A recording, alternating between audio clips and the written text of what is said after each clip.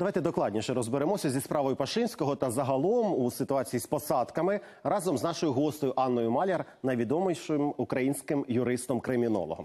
Пані Анно, я як завжди радий вас бачити. Добрий вечір. ну, дивіться, захисники Пашинського кажуть, що він лише оборонявся, що це був самозахист. З вашого досвіду, як ви бачите, схоже це на самозахист? Вся та історія зі стріляниною? Я володію інформацією так само, як всі наші глядачі, лише з відкритих джерел. А тому можна е, головне, що це розібратися в тому, як же насправді відбувалися ці події, і ключове запитання: хто з них перший почав застосовувати силу? Чи Пашинський дістав зброю, чи хімікус все таки дістав цю бутилку? І станом на сьогодні слідство все таки встановило, що Пашинський виходив з машини вже З готуючи зброю до вистрілу.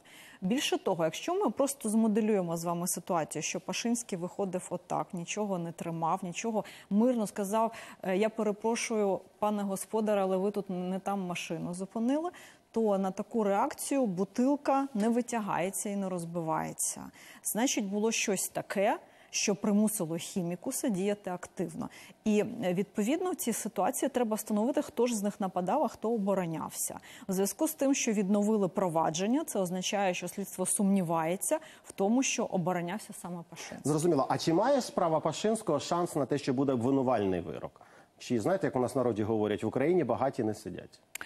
А, це так і є, і я песиміст абсолютний у цій ситуації. справі. і для мене буде величезним е, сюрпризом і приємністю, якщо буде доведена, скажімо, вина, бо ми не можемо зараз називати людину злочинцем. Ми не знаємо, це суд. Зрозуміло. Але якщо суд підтвердить те, що встановить слідство, бо в нас буває дуже часто так: слідство встановило, а суд да це. Ключова інстанція, яка приймає рішення, потім розбиває абсолютно це обвинувачення. Ну от згадайте Насірова. Е, Тому в нашій країні е, в тюрмах сидять тільки бідні люди, і чим гучніша справа, тим вищі грошові ставки за вирішення цієї справи. Тому я дуже хочу вірити, що тут буде не так. Ось вся нехитра юридична арифметика. Зрозуміло. Ну але все ж таки, якщо гіпотетично уявити, що злочин буде доведений, Пашинський сідає за цей постріл. Мене тут тоді цікаве, а цікавить е, таке питання: а що буде чекати на тих слідчих і прокурорів, які затягували процес, а потім ще й намагалися перевалити вину провину на хімікуса? Вони будуть відповідати? Тут е, цілий лабіринт був.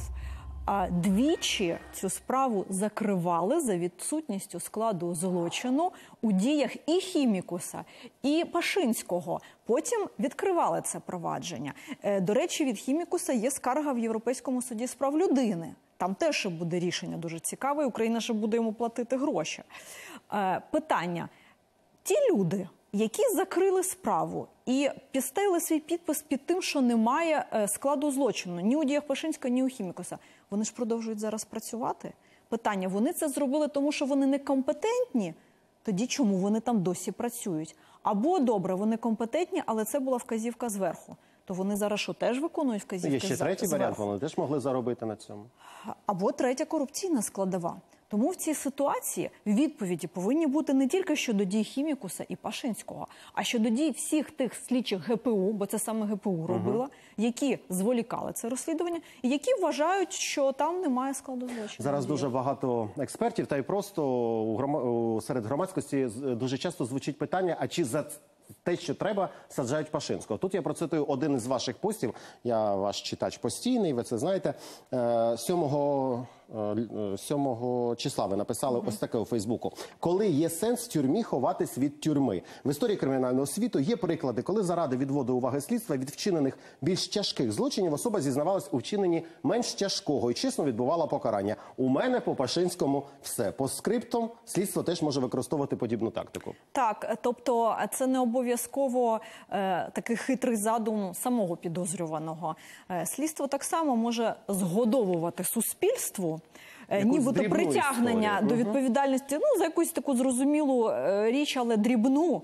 Порівняно, скажімо, з там з розкраданнями державного бюджету, з якимись серйозними оборудками, з якимись там рейдерськими захопленнями, і е, таку тактику виключати не можна.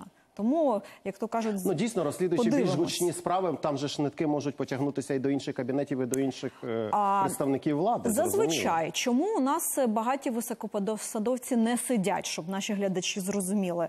Тому що якщо вони і вчиняють злочини, то не самостійно, а в групі осіб або це цілий режим. Тому всі ці люди просто не допустять, Вони щоб не- їх співучасник зрозуміло. знаходився Кругова в порука, так скажімо. Е, Аню, як ви вважаєте, Пашинський перша ластівка за ґратами е, при цьому режимі? Чи будуть іще посадки? Ну, у нас і є І ще? Гримчак, і там вже заглохло, немає ніяких новин по тому кримінальному провадженню, тому Пашинський вже другий. Але вишукують, мені здається, найслабкіші ланки зараз, тому що все-таки обіцянка, не цяцянка, і повинні все-таки Саджати треба, але- хтось але повинен нести відповідальність. Але висмикувати людей із системи, в якій вчинялись злочини, практично неможливо, бо система їх не здасть. Є глибинна держава, як то кажуть. І якщо верхівка змінюється, то ці всі люди, які нижче працюють, вони там само в тій же системі, вони просто не будуть здавати своїх співучасників. Зрозуміло, дякую вам, як завжди, за як завжди цікаву розмову. Анна Маляр, український дуже відомий юрист-кримінолог, відповідала на мої питання. А ми з вами продовжуємо подробиці тижня. І ось про що поговоримо далі.